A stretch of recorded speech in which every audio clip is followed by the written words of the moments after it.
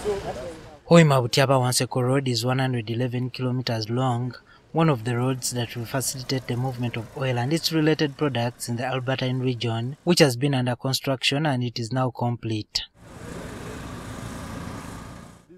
The road, which cost government over 197 million US dollars, is said to have several cost drivers, including cutting down an escarpment at Pukumi, construction of the Waiga and Waki bridges, as well as the road construction affected by floods along Butiaba and Wanseko landing sites.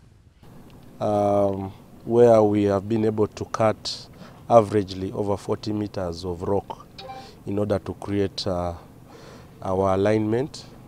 The road has been constructed more into the rock area, which is firm. This is one of the link roads uh, within the project. It's four kilometers serving the Wantembo barracks.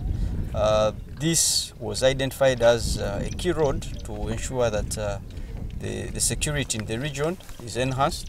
However, despite cost drivers, the road has been completed without any additional funding. executed in line with the contract requirements, in line with the contract amount provided for, which is 179 uh, million dollars. The road, which has been described as one of the best in the oil region, is expected to have a pilot roadside resting place for road users.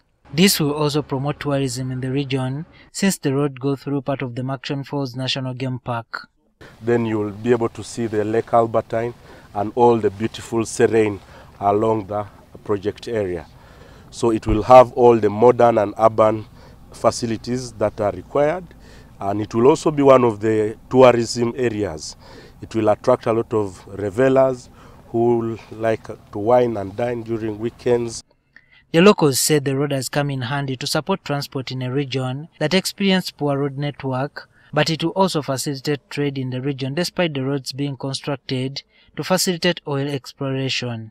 The quality is really appreciable, well designed, with you know, with you know, it's well in- power connected. Here to Hoima you would pay 15, but now we are paying 10 because now the the taxi operators they also reduced the price because they are also seeing that they can easily move very quickly from Hoima to here. It was constructed by Chongqing International Construction Corporation under the supervision of UNRA engineers was substantially completed on 25th May 2022 and is under 12 months defects liability period.